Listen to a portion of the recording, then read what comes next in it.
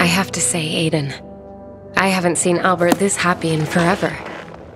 Thank you for what you're doing. Here's a list for your next book search. I've enjoyed our talks, but I tend to hog the conversation. Are there any questions you'd like to ask me?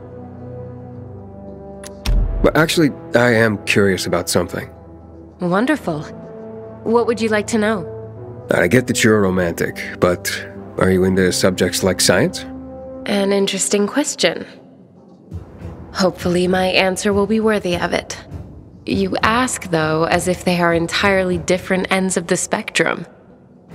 But to me, they are parallel notions. Whether it's science or romance, answers to questions are often best guesses based on what can be observed. With a different perspective, the same information leads to a different answer. For example, the sun was once a fiery god that, with better observational tools, was revealed to be but a fiery ball of gas.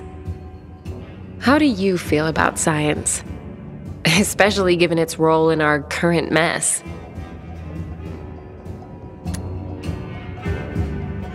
Science is just a tool, like a hammer.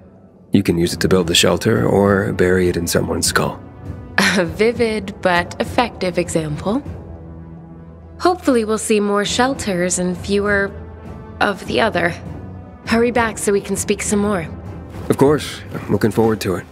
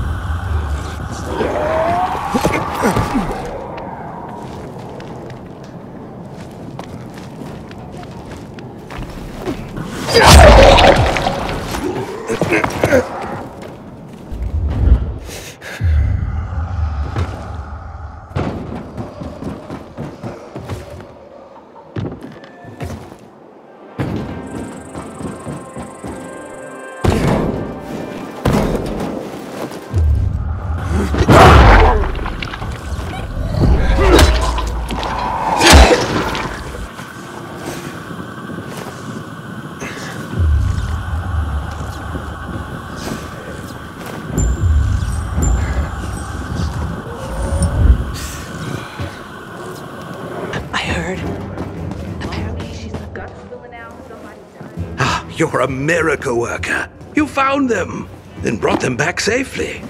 Oh, here now is one of the original great American novels The Adventures of Huckleberry Finn. Mark Twain was a wry observer of the human condition and a sharp witted satirist. what would his take on the divisions of our society be, I wonder?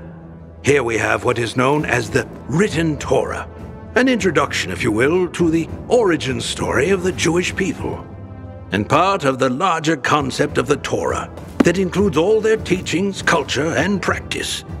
A crucial tome of religion and culture. Our collection is growing by leaps and bounds, primarily due to your leaping and bounding. Nothing? you are a stoic, aren't you? Damn, thought you'd have a better sense of humor than Thalia. oh well.